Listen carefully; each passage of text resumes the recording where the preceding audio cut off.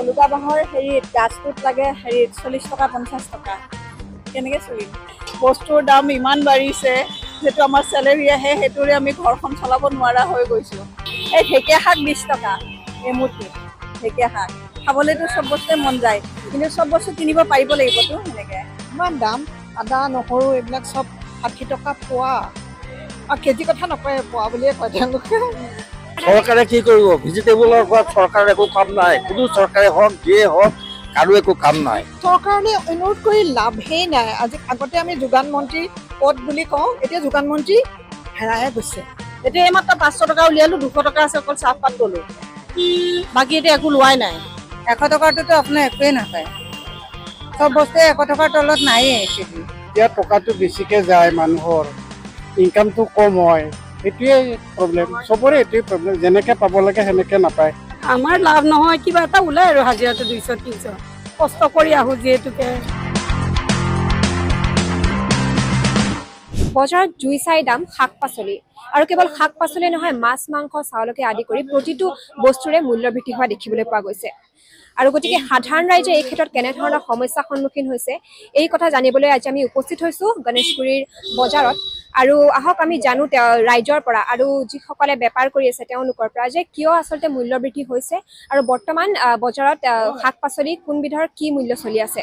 আৰু এই সন্দৰ্ভত আৰু এটা কথা লক্ষণীয় যে কেইদিনমান পূৰ্বেই প্ৰশাসনে আহি এই ক্ষেত্ৰত তেওঁলোকে কিছু চাই গৈছিল বজাৰত আহিছিল আৰু কিমান দাম চলি আছে সেই সন্দৰ্ভত কিছু চাই গৈছিল। গতিকে তাৰ পাছত এতিয়া বৰ্তমান শাক পাচলিৰ দাম কমিছে নে নাই নে সেই দামতেই ৰাইজে ক্ৰয় কৰি আছে সেই বিষয়েও আমি আজি আহ, ইয়াত জানিবলৈ চেষ্টা কৰিম। গতিকে আহক আহ, আমি তেওঁলোকৰ সৈতে কিছু কথা পাতোঁ।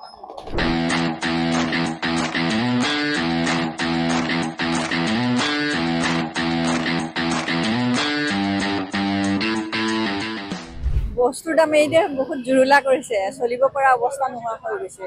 ইনকামৰো কথা আছে আজিকালি ল'ৰা ছোৱালীৰো চাকৰি বাকৰি নাই। এতিয়া এটা মানুহৰ ইনকামত এতিয়া নোজোৰে- আৰু। ভলুকা বাঁহৰ হেৰিত গাছটোত লাগে হেৰিত চল্লিছ টকা পঞ্চাছ টকা। কেনেকৈ চলিম? চৰকাৰে অলপমান বুজিলে ভাল আৰু এনেকৈ। বুজি পালে ভাল আৰু। এই ক্ষেত্ৰত দেখা গৈছিল যে চৰকাৰ প্ৰশাসনে মানে আপোনাৰ বজাৰত আহি তেওঁলোকে বস্তু সামগ্ৰী মূল্য সেইবিলাক চাইছিলি কিন্তু তাৰ পিছতো এতিয়া এইকেইদিনত আপুনি কিবা পাৰ্থক্য পাইছেনে? মানে চব্জিৰ দাম কমিছেনে নাই? আগৰ মূল্যতে লৈ আছে। নাই। কমা নাই। একো কমা নাই। একো কমা নাই। এতিয়া বাঁহৰ গাছটোৱে মই ল'ব পৰা নাই সেনেকে। এই জলকীয়াতে ভাগ কৰি থৈ দিয়ে সেয়া বিছ টকা লাগে এইখিনিমান জলকীয়াত কি খাব? খাবৰ কাৰণে একো নাই নোৱাৰি আৰু। এই ঢেকীয়া শাক বিছ টকা এমুঠি ঢেকীয়া শাক। খাবলৈতো চব বস্তুৱে মন যায় কিন্তু চব বস্তু কিনিব পাৰিব লাগিবতো সেনেকে। বস্তুৰ দাম ইমান বাঢ়িছে যিটো আমাৰ চেলেৰি আহে সেইটোৰে আমি ঘৰখন চলাব নোৱাৰা হৈ গৈছোঁ।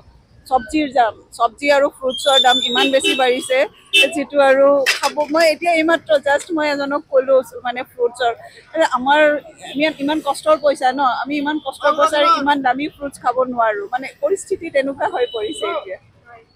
এই ক্ষেত্ৰত চৰকাৰলৈ কিবা অনুৰোধ আছে নেকি? তেওঁলোকক কি ক'ম এতিয়া? কৈ লাভ নাই এতিয়া তেওঁলোকক ক'লেতো ক'ব যে চব বস্তুৰ মানে দাম বাঢ়িছে তো চব্জিৰ দামো বাঢ়িব ফ্ৰুটছৰ দামো বাঢ়িব। কাকনো কি ক'ম এইকেইদিনত আপুনি দেখা গৈছে যে মানে প্ৰশাসনে আহি তেওঁলোকে চাই মেলি গৈছে যে কিমান দাম হৈ আছে। গতিকে কিবা পাৰ্থক্য পাইছে নেকি? মানে দাম কমা বঢ়া নে সেই আগৰ দামতে আপোনালোকে ক্ৰয় কৰি আছে? নহয় দামটো বাঢ়িছে। চব্জিৰ দামটো বহুত বাঢ়িছে। আগতে আমি কিলো চল্লিছ টকাত পাইছিলোঁ। এতিয়া আমি ঢাইশ গ্ৰাম মানে টু ফিফটি গ্ৰাম এতিয়া আমি চল্লিছ টকাত ল'ব লগা হৈছে বা ত্ৰিছ টকা। বিলাহীৰ দাম বহুত বাঢ়িছে। ভাবি ভাবি লৈছোঁ এপোৱা এপোৱা লৈছোঁ জানা? ইমান দাম আদা নহৰু এইবিলাক চব ষাঠি টকা পোৱা। আৰু কেজি কথা নকয় পোৱা বুলিয়ে কয় তেওঁলোকে। সেয়াই আৰু। বহুত কিবা পাৰ্থক্য পাইছে মানে চ- চব্জিৰ দামৰ ক্ষেত্ৰত যিহেতু প্ৰশাসনেও এতিয়া আহি পিনে তেওঁলোকে চাই মেলি গৈছে গতিকে দাম অলপ কমা দাম বহুত বেছি হৈছে বিলাহী কিনিবই নোৱাৰি। চৰকাৰলৈ অনুৰোধ কৰি লাভেই নাই। আজি আগতে আমি যোগান মন্ত্ৰী পদ বুলি কওঁ এতিয়া যোগান মন্ত্ৰী হেৰায়ে গৈছে। নোলায়েই মানুহৰ আগত। একো কৰিবও নোৱাৰে। আৰু এইটো মানে বহুত খুব ডাঙৰ প্ৰব্লেম হৈছে কিন্তু এতিয়া। এতিয়া মানুহ জীয়াই থকা টান হৈছে। আমিয়ে চিন্তা কৰিছোঁ। আৰু যে দুখীয়া মানুহবিলাকে কি খাইছে ভাবিলে? আৰু খাবলৈ মন নাযায়। আমাৰ এইখন বজাৰ মোৰ নহয় বুজিছা? আমাৰ বজাৰতকৈ ইয়াত বহুত তফাত আমি যি চল্লিছ টকাত কিনি থাকোঁ ইয়াতে ষাঠি টকা আশী টকা। তিতা কেৰেলা এই পটল এই চব চল্লিছ টকা আমাৰ বজাৰত কিনিছোঁ। আজি ইয়াত আশী টকা ইয়ে কৰে।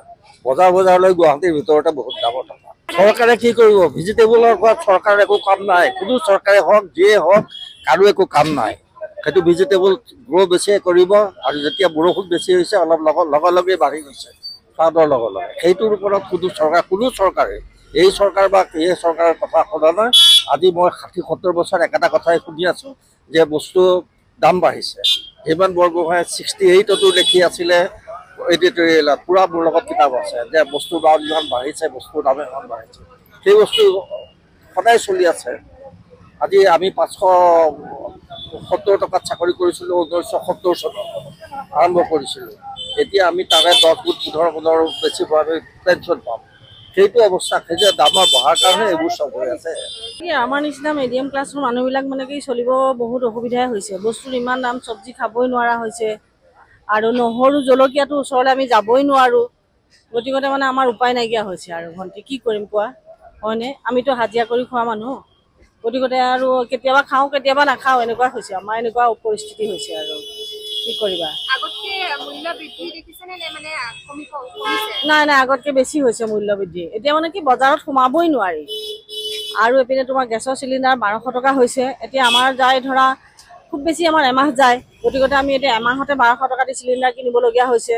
সেইকাৰণে মানে আমাৰ কোনোফালে উপায় নাইকিয়া হৈছে। ভণ্টি কি ক'ম তোমাক? চৰকাৰলৈ আমাৰ এটাই অনুৰোধ ইমান দাম বঢ়াব নালাগে। এটলিষ্ট কিবা এটা দাম বঢ়োৱাৰ লগে লগে বাকী চব বস্তুৰ দাম বাঢ়িব নালাগে। মিঠাতেলেই কিনিবানে তুমি নাই দালিয়েই কিনিবানে একো মানে ল'বই নোৱাৰা হৈছোঁ আমি। মানে চৰকাৰক আমি এতিয়া এটাই অনুৰোধ জনাম যাতে বস্তুবিলাকৰ দাম অলপ হ'লেও যাতে আমাৰ নিচিনা মিডিয়াম ক্লাছৰ মানুহখিনিৰ কাৰণে যাতে চলিবলৈ অলপমান হ'লেও মানে আমাক সহায় কৰে আৰু। দুশ টকাত একো নাপায় বুলি ক'লেই হ'ল। একো নাপায়েই। এতিয়া এইমাত্ৰ পাঁচশ টকা উলিয়ালোঁ দুশ টকা আছে অকল চাহপাত ল'লোঁ বাকী এতিয়া একো লোৱাই নাই। গতিকে মানে এই যোৱা দুবছৰৰ আগৰ মানে ক'লোঁ আৰু ইমানেই মূল্য বৃদ্ধি হৈছে আমি কৈছোঁ নহয় আমি চলিবলৈ আমাৰ উপায় নাইকিয়া হৈছে আমাৰ। দামটোতো বহুত হৈছে ন বহুত বস্তুৱে বহুত হৈছে। এতিয়াতো কিনিবই নোৱাৰি বস্তুবিলাকৰ দাম। আপোনালোকেতো শুনিছেই ন? বহুত বেছি। আগৰ তুলনাত কম বুলিবলৈ নাই বহুত বেছি দুগুণে বেছি হৈছে। অনুৰোধ কৰিলে জানো কমাই দিব। চব বস্তুৱে বাঢ়িছে। এতিয়া গেছৰ দাম আপোনাৰ বাৰশ টকা। কাৰ্ডত ল'লেও ব্লেকত ল'লেওতো পোন্ধৰশ ষোল্লশ ক'ব। হয় নহয়? ঠিক তেনেকে বহুত বস্তুৱে বহুত দাম বাঢ়িছে। বস্তু দেখোন কিনিবই নোৱাৰে। চা এইখিনি বস্তু এতিয়া আপোনাৰ তিনিশ টকাৰ তিনিশ টকাৰ বস্তু একে দাঙিব নোৱাৰা হৈছিলোঁ আগ- আগতে। আজিকালিতো বহুত হৈছে। একদম। এশ টকাৰটোতো আপোনাৰ একোৱেই নাপায়। চব বস্তুৱে এশ টকাৰ তলত নায়েই এক কেজি। বহুত হৈছে আৰু সাধাৰণ জনতা বুলিবলৈ চব বস্তুৱে দাম বাঢ়িছে ন? কেনেকৈ চলিব? তো যিবিলাক মানুহৰ প্ৰাইভেট জব কৰি আছে প্ৰাইভেট জববিলাকতো একো দৰমহা পাতি বঢ়াই দিয়া নাই। গতিকে বহুত বস্তুৱে সমস্যা পৰিছে। সেই এনেকৈ আৰু। চলিবতো লাগিবই হয় নহয়? নোখোৱাকেতো থাকিব নোৱাৰে বস্তুৰ দাম হৈছে। আজি কমত পাইছোঁ চল্লিছ এনেহ'লে বহুত দাম হৈছে। চলিব আৰু কেনেকৈ কি কৰিব উপায়তো নাই। আমিও চলাব লাগিব তেওঁলোকেও কয় মানে আমি বহুত দামত আনো। তেওঁলোকে ক'ৰ পৰা আনো সেইটো আমি নাজানো কিন্তু দামত আনা বুলি কয়। আমি সেইখিনিৰ পৰা আৰু এনেকেই মানে চলি থাকিব লগা হৈছে। কমাবওতো নোৱাৰি আমি ক'লেও তেওঁলোকে এৰি নিদিয়ে। কথা। জনসাধাৰণৰ সমস্যা মানে যেতিয়া টকাটো বেছিকৈ যায় মানুহৰ ইনকামটো কম হয় সেইটোৱে প্ৰব্লেম চবৰে এইটোৱে প্ৰব্লেম যেনেকৈ পাব লাগে সেনেকৈ নাপায়। কোনে কেনেকৈ আৰ্জিছে সেইটোতো বহুত ডাঙৰ কথা। কিনি আনো গাঁৱৰ পৰা। এতিয়া আৰু তাতো বস্তু এতিয়া প্ৰডাকশ্যনটো কম আছে। পানী চানী সোমাইছে গছবিলাক মৰিছে। বস্তুটো তাতে দাম গাঁৱতে। গাঁৱৰ মানুহে এনেকৈ দামত খাই আছে। ইয়াত গুৱাহাটী বুলি নহয়। আমি তাৰ পৰা দামত আনিছোঁ। সেইকাৰণে অলপ দামত বিক্ৰী কৰোঁ। ভাড়া চাড়া আমাৰ লাভ নহয়। কিবা এটা ওলাই আৰু হাজিৰাটো দুইশ তিনিশ। কষ্ট কৰি আহোঁ যিহেতুকে। চৰকাৰনো আমি কি ক'ম আৰু? আমি একো বুজিয়ে নাপাওঁ। গাঁৱত খালি বেপাৰ কৰিবলৈ আনো। ঘৰখন চলাবলৈ সেইটোৱে জানো। চৰকাৰক আৰু কি ক'ম আৰু? আমি এইবিলাক আৰু ইমান মাথা মাৰি নিজৰ কথাই ভাবি থাকোঁ। দামটো দামটো বঢ়াৰ কাৰণ হৈছে পানী হ'ল নে অকস্মাত পানী হৈ গ'ল আৰু এইবিলাক হৈছে লাটা জাতীয় চব্জি। পানী উঠিলেতো লতাবিলাক মৰি যায় না। তাৰ পৰা যিটো তেওঁলোকৰ শক্তিটো আহৰণ নহ'লে ফল কেনেকৈ লাগিব? সেইকাৰণে এইটো দাম বাঢ়ি গৈছে। আৰু অসমতো বানপানীৰ সমস্যা এইটো আগৰ পৰাই হয়। বাৰিষা হ'লে বস্তুৰ দাম বাঢ়িবই। ইয়াত কোনো তাৰমানে কোনো দাম নিজাকৈ বঢ়াব নোৱাৰে। বস্তুটো বহুত দূৰৰ পৰা আহে এইটো আমাৰ যিটো লোকেল প্ৰডাকশ্যন এইটোতো বন্ধ হৈ যায়। বিলাহীটো আহি আছে শ্বিলঙৰ পৰা। এই শ্বিলঙৰ বস্তুটোৰ দাম হ'বই ইয়াতে। তেনেকুৱাই আৰু। আমাৰ ইয়াত লাভ একো নাই। আমাৰ লাভ কিয় নাই জানেনে। আমি কেজি পাৰ প্ৰতি কেজি দহ টকা ল'ব লাগিব। কাৰণ আমাৰ কেৰিং চাৰ্জ আছে লেবাৰ খৰচা আছে। পাৰ কেজি আমাৰ চাৰি টকা যাই যায় হাতৰ পৰা যায়। ছয় টকা কোনোবা মালত দহ টকা। দেচোন বিলাহী আনিলোঁ আমি। বিলাহী এতিয়া দেচোন ছয়শ টকা পাল্লা। ছয়শ টকা পাল্লা হ'লে কিমান হৈ গ'ল? কিলো এশ বিছ টকা। হয় না নহয়? এশ বিছ টকা কেজি হ'লে ত্ৰিছ টকা পোৱা বেচিব নোৱাৰি চল্লিছ টকা। তাৰ মাজতে এক কিলো বেয়া হৈ যায় এইটো লাৰতে সেইটো লাৰতে তেনেকুৱা আৰু। ত্ৰিছ চল্লিছ জলকীয়া দাম এনে আমি আঢ়াইশকৈ আনো। পোৱা সত্তৰ ষাঠি। এনেকৈ বিক্ৰী কৰোঁ। অঁ। আৰু বাকী বাকী কঁঠাল গুটিবিলাক ত্ৰিছ ত্ৰিছ। ঢেকীয়াবিলাক দহ এনেকুৱাই আৰু মিলাই পেলাই। পানীলাও চল্লিছ। বেছি আমি চলিবই নোৱাৰা হৈছোঁ এনেকুৱা। আগত য'ত দহ টকা আছিল এতিয়া ত্ৰিছ টকা এনেকুৱা আৰু। অকল আহ, আপোনাৰ শাক পাচলি বুলিয়ে নহয় আহ, বস্তুৰে দাম বাঢ়িছে। চাউলৰ পৰা দালিলৈকে কি কমি আছে চবৰে বাঢ়িছে। হয়, এই সন্দৰ্ভত চৰকাৰৰ কিবা অনুৰোধ আছে নেকি? চৰকাৰক অনুৰোধ মানে আৰু মধ্যমীয়া বা দুখীয়া শ্ৰেণীটো জীয়াই থাকিবলৈ হ'লে খাবলৈ হ'লে অলপমান বস্তুৰ দাম শিথিল কৰিব লাগে আৰু।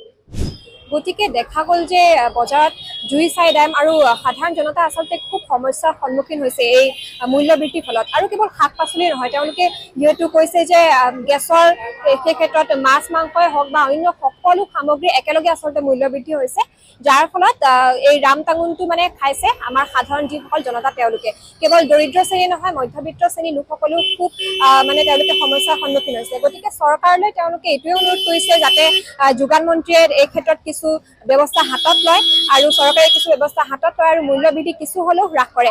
এতিয়া শাক পাচলিৰ ক্ষেত্ৰতে হওক যদি দামটো বৃদ্ধি হৈছে তেন্তে অন্য ফালে যদি দামটো অকণমানো যদি লাঘৱ হয় তেন্তে তেওঁলোকে কিছু সকাহ পায় বুলি তেওঁলোকে জনাইছে। গতিকে এই ক্ষেত্ৰত আমি এয়াই দেখিলো আজি আহ, মূল্য বৃদ্ধিটো হৈ আছে। আগতকে কিছু কমিছে বুলি কিছু ব্যৱসায়ীসকলে তেওঁলোকে কৈছে যে বানপানীৰ ক্ষেত্ৰত যিহেতু আহ, মূল্য বৃদ্ধি বেছিকৈ হৈছিল। গতিকে এই ক্ষেত্ৰত দুই তিনিদিনত কিছু অকণমান শাক পাচলিৰ দাম কমিছে। গতিকে আজি আমাৰ এই প্ৰতিবেদন আমি ইয়াতে সামৰণি মাৰিছো।